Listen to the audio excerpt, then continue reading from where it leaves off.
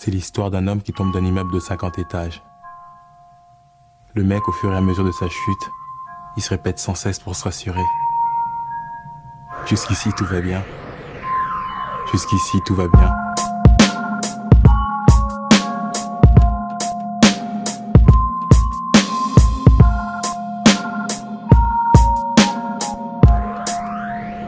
Jusqu'ici, tout va bien.